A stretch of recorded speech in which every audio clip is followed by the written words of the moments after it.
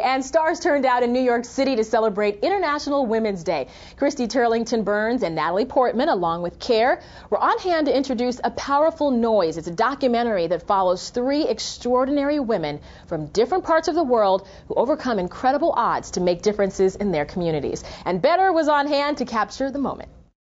Như chúng ta đã biết, HIV/AIDS đã tung hoành. Duplo team proiecto, un proiecto. Quelqu'un, oui. Les gens pensent même que j'ai. Let's begin this conversation tonight now that we're inspired by these stories of these three bold, brave women.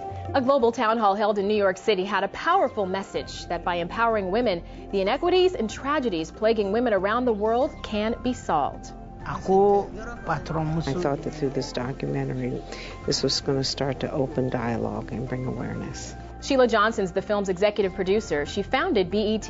I travel a lot all over the world for care, and we take camera crew with us. And we're looking at all of this footage, and we're just saying, you know, there's a story here. You see these women in the film, um, and you meet these women when you travel to see their hope and their energy and their agency and their desire to have authorship over their own futures um, gives you hope to that, that it can be a wider phenomenon. Natalie Portman may be recognized for being a Golden Globe winner, but she's also a humanitarian and champion of microloans for women in developing countries. I had the opportunity to travel and meet many people, um, and just see that that women um, women's empowerment really is the sort of um, heart of of combating world's poverty. Well, the night wasn't all about Hollywood idols, but real life heroes.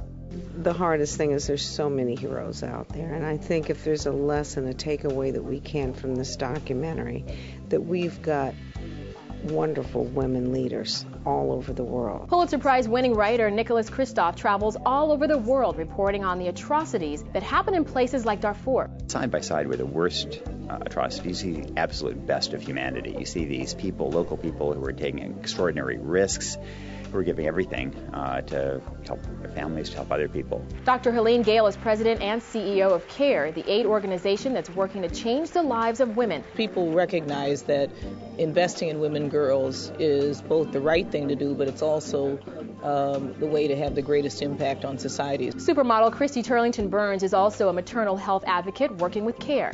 We need to support other communities, we need to support other women in other countries because it's a global community. It truly is. What you walk away with after seeing a powerful noise is great hope for the future. Hope for women who, not very long ago, never had a chance to survive. They now have a chance to thrive. And for more information on how you can get involved in changing lives, you can log on to better.tv to find the link to care. Thanks for watching Better.tv. For more stories like the one you just saw, catch the television program Better every weekday. Check your local TV listings to see if Better airs in your city.